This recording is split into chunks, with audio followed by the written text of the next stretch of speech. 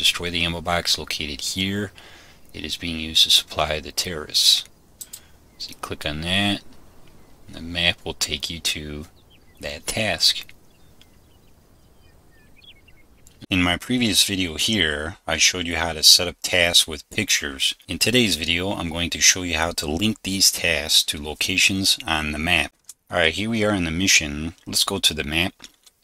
So on the map, we have seven tasks. Like in the previous video, we have the same similar tasks, except now we have two more. And the tasks are more spread out and in different areas based on what the tasks are set up for. Let's go in game and take a look at these tasks. We're in game, let's go to the map, and we're going to go to the task tab. We have seven tasks total, and at the top we have a task checkpoint and every task has a corresponding picture. So we have a checkpoint, we have a clear the area, clear radio tower, ammo box, radar, anti-air, and kill the officer. What I'm going to show you today is we're going to put a link in the description of the task itself so that when you click on the description beat, no matter what it is, you can put a word here that you want and click on that word and it will take you to the location of that task. So for example, let's say destroy the radio tower, it is located here or something. You click on the word here and the map will automatically zoom in onto that spot and you will be at the radio tower or whatever task that you have set up. What we need to do to link the tasks on the map is to put down markers. So we're going to go to F6 markers. That'll put us on the map and we're going to place a marker for each task at each task location. So we're going to start up here and we're just going to place a dot marker. You could use whatever marker you want. I'm going to place this marker here. These markers are going to be points of origin where when you click on the task in the description of the task that it will reference this marker to the task and basically move the map to that location. Starting with this marker, we're going to edit the marker and we're going to give it a simple variable name of MK1 and just hit OK. Next, we're going to click on the marker, make sure it's highlighted in the entities panel as you can see here, and press Control C. We're going to copy it and we're going to go to the next task. So the next task is right about here. We're going to paste the next marker here. We're going to edit the marker and name it MK2. We're going to go to the next task, which is this one. And I'm put the marker right here. Edit the marker. To name this MK3. And hit OK. I'm going to scroll out and we're going to go to this task and paste the marker here. I'm going to edit this one and name this MK4 to this task. And we're going to paste this here. Edit this one. I'm going to name this MK5. Hit OK. And then we're going to go to this task and paste the marker and edit this one. This is going to be MK6. And then the last task is actually over here. And we're going to paste the marker here, and it's going to be MK7. Click on the top task, hold down left shift, and then click on the bottom task. That's going to highlight them all, right click one of them, and let go of the shift button, then go to attributes. That's going to open up the markers. And at the top here says edit seven markers. So we're editing seven markers that we placed. And what we're doing here is we're going to go to the marker style and we're going to go to where it says alpha. Now this, as you can see in the tooltip that comes up, is transparency. What we're going to do is turn the transparency off, which means you won't see the markers on the map. So we're going to just move the bar all the way to zero. It'll be 0% and just hit OK.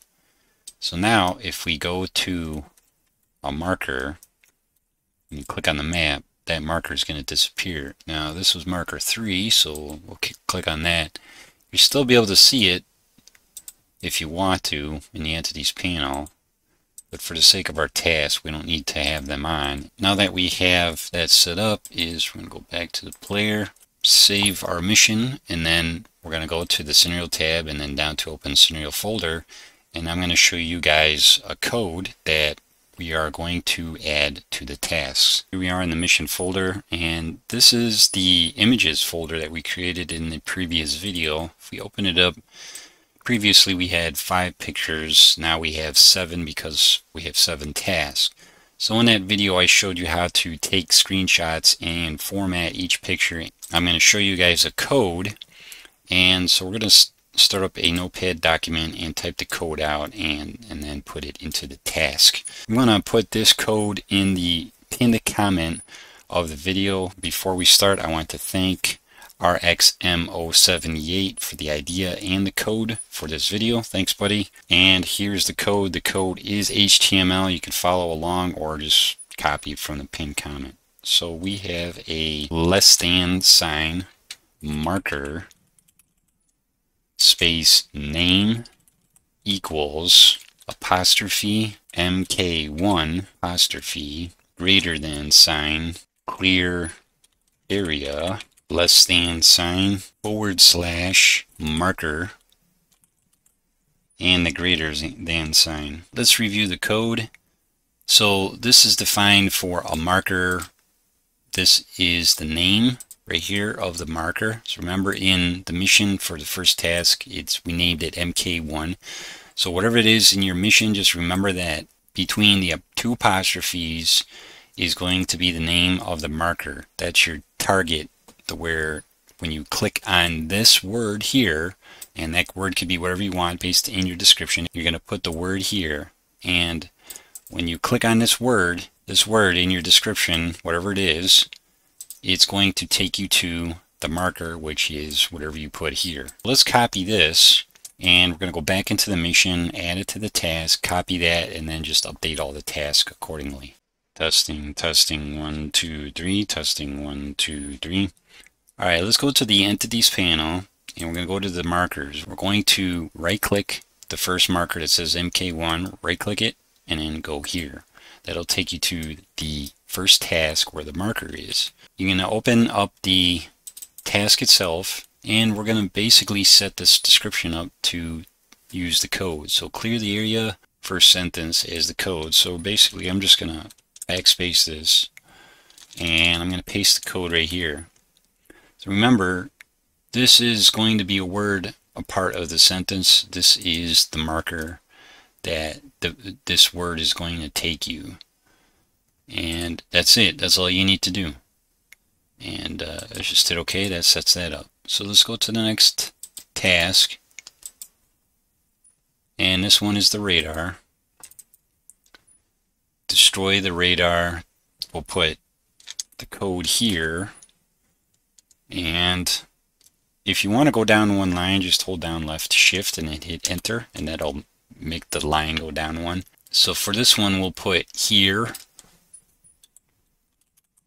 we have to update the marker name, which is MK2 for this one. I just hit OK. And let's go to the MK3 marker. This will be the anti-air. And let's go to the task. Destroy the anti-air. And we'll paste the code here. And then left shift and enter. And we'll put MK3 here for the marker and then we'll put here for the uh, word and then just hit it OK and it sets that up. Now we'll go to number four which will be the checkpoint and we'll edit the task. This checkpoint, we'll paste the code here. MK4 will be the marker and we'll just put here and that sets that up. Now we'll go to number five, the officer, and eliminate the officer. He is minted officer located.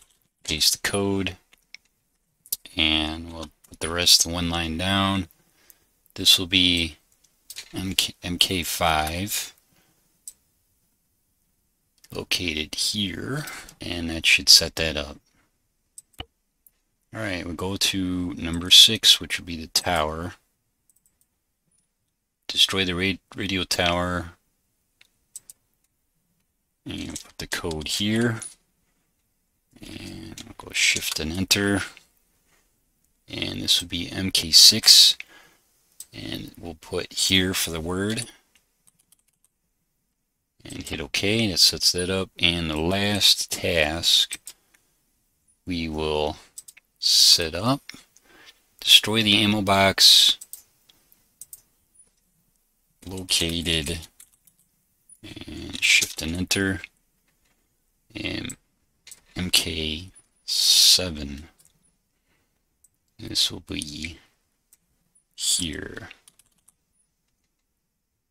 And that's all good. Let's enter and we're set. Our tasks, our markers are all set. Let's save our mission and let's get in game and take a look how they turned out. Alright, so we're in game. We'll go to the map and we'll go to the tasks. So optional task, checkpoint. Let's go to the first task, clear the area. So we put clear area of enemy present. So here is the the link. The link will be in orange. Let's move the map and you'll see what happens. So we click on that and the map is going to basically zoom in on the area that where the marker is and that's exactly where we put the marker so if you deviate from that it's going to take you right to it the radar which is at the farm destroy the radar here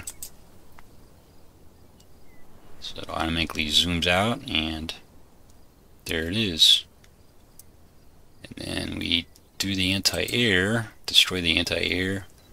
Here it is, guarding the airfield. And then we have the checkpoint. The checkpoint here guards the road to the airfield. Clear it. So checkpoint is where? Right here. Yep. And then we have an officer. Eliminate the officer located here. He is the leader of the terrorist group. It takes you over to this little villa. And then from there we have radar tower. Destroy the radar tower here.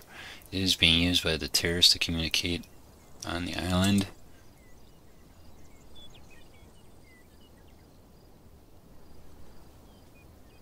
And then the last task is the ammo box. Destroy the ammo box located here.